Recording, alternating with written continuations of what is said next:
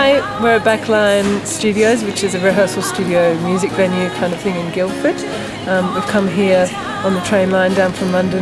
It's snowing and it's actually not cold. And we just did a gig inside, which was really cool, great venue, really supportive audience.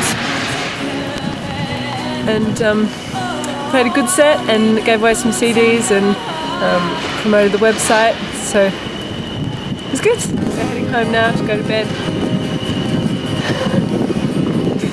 eat snow.